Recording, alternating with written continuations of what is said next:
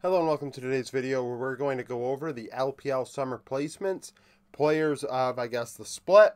Um, each group, I have a player, you know, for each role. So, um, the stats we used, KDA, assist count as half, CS per minute, kill participation, return on investment, damage divided by gold, vision efficiency, uh, wards placed, um, sorry, vision score divided by wards placed solo kills, and in the case of the bot lane, 2v2s, 2v2 kills, and gold difference and CS difference at the time the first turret falls. So, in top lane in Group A, Sheer led the way. He played the majority of the games for JDG, so he's the one I'm using. First in KDA, out of all top laners at 4.2, kill participation 72.1%, vision efficiency 3.57, and ahead 1,057 gold on average. Sheer has come to play. Second in CS difference, ahead 14. In Group B, Bin was the best. First in CS per minute from for everybody at 8.2. CS uh, difference up 15. Second in vision efficiency, 3.44. Solo kills had 7. Gold difference, 600. He would rank first out of everybody cumulatively. Sheer was second in that uh, cumulative score. Uh, in Group C was 369, second in KDA 3.8, and kill participation 67%, so two out of every three kills. Third in return on investment 1.47, so 1.47 damage per gold. He ranked fourth.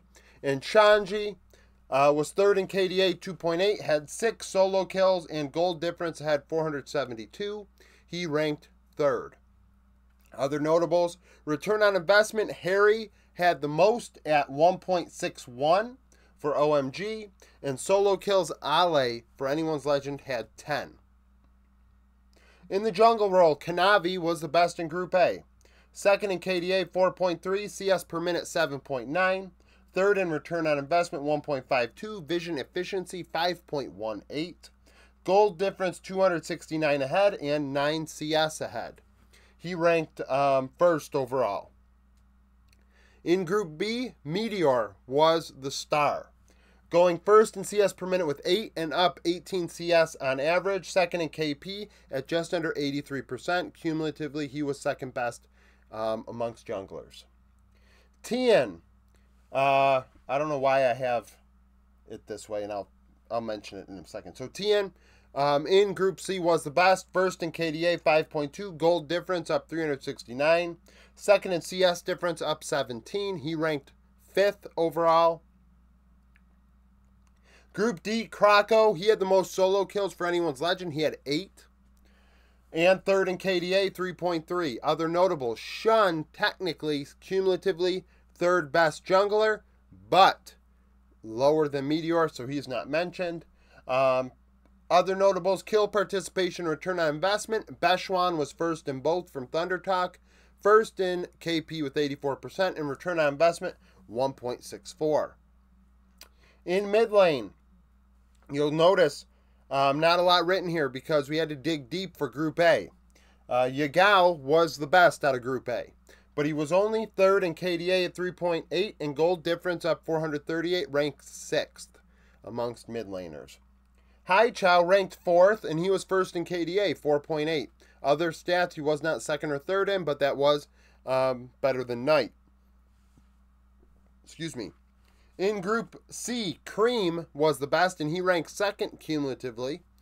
Uh, second in CS per minute, 9.5. Return on investment, 1.7. Third in KP, 71.3%. And the best mid laner was Shanks.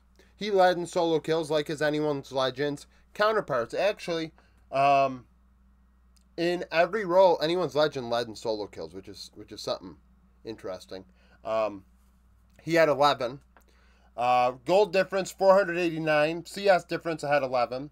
Second in KDA 3.8. CS per minute 9.5. Vision efficiency 3.42. And third in return on investment 1.63. Really, when you think about it, um, Sheer, Kanavi, and Shanks are the guys that have the most um, stats to, to mention, and they're clearly the best. Um, well, Sheer wasn't. Bin was better than him, but Kanavi and uh, Shanks clearly are the best in their role right now. Um, keep in mind in their group, like it's it's in the group, but cumulative strength of schedule definitely plays a role. That's why I have the best um, mentioned in each in each group because they did play, um, you know, their group. Other notables, uh, rookie was third, so Shanks was in the same group. So rookie was third, and and therefore second in his group, and then uh, Knight was um, what do I have here? Fifth behind Haichao. So that is a thing. Other notable CS per minute, Knight was first at 9.7. Kill participation, Fofo from Team WE, 73.8. Return on investment, Rookie, 1.76. And then vision efficiency, Knight, 4.64. In the end, Knight was not better than Haichao in majority of the other categories, which dropped him down to below Haichao in cumulative stats. Bot lane duos. Uh, Group A is dominated from start to finish by JDG. So Ruler and Missing were the best. They were the second strongest bot lane duo. First in KDA, 4.4. CS per minute, 11.2. Second in gold difference, had 538. And CS difference, they were third at 5 CS ahead. In Group B, it was Elkanon who graded out the best. First in return on investment, 1.35. Gold difference, it had 871 on average. Second in vision efficiency, 2.21. CS difference, I had 5. Third in KDA at 3.2. Group C, Gala Hang were the strongest. Third overall, first in kill participation at 77.2%, and actually had the best CS difference, ahead 6 on average. Group D, Hope and Kael. Uh, from anyone's legend, once again, first in solo kills plus 2v2 kills with 9. Third in gold difference had 528 and technically ranked fifth cumulatively.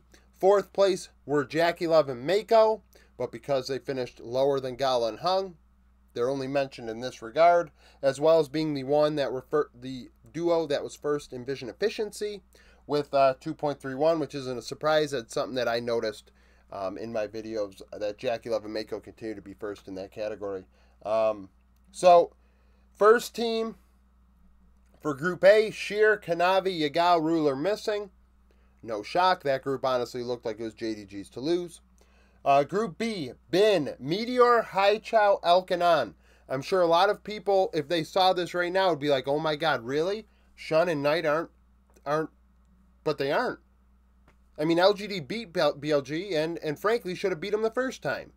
LGD actually played way better than I expected. I figured that team was an easy fourth, and they came out and and hell, they the BLG win is a surprise in and of itself, of course, but the competitiveness and how well the the bot lane duo is playing. I'm, Jin Zhao all of a sudden alongside this rookie is is looking decent. Haichao is really taken on um, quite a quite a role in the team. Um, goes to show you that if you give a guy a leash and, and give him an opportunity to develop, um, anything's possible. I mean, I'm really shocked by that, and I mean, I said it in my last week's video um, a couple days ago. Uh, so not about last week, but a couple days ago. Meteor, this is his meta. He's a carry-oriented jungler, one of the best in the world, specifically at carry-oriented high-resource jungling. Um, that's not to say he's one of the best in the world overall, but he is in this meta. This is his meta to, to time to shine. Um, and then Group C, 369, Tian, Creme, Gala, Hang. In Group D, Shanji, Croco, Shanks, Hope, and Kael. Thank you for watching. If you like the video, like it. Subscribe to the channel for daily League of Legends content. Follow me on Twitter, join the Discord, become a YouTube supporter, and hope to see you again tomorrow.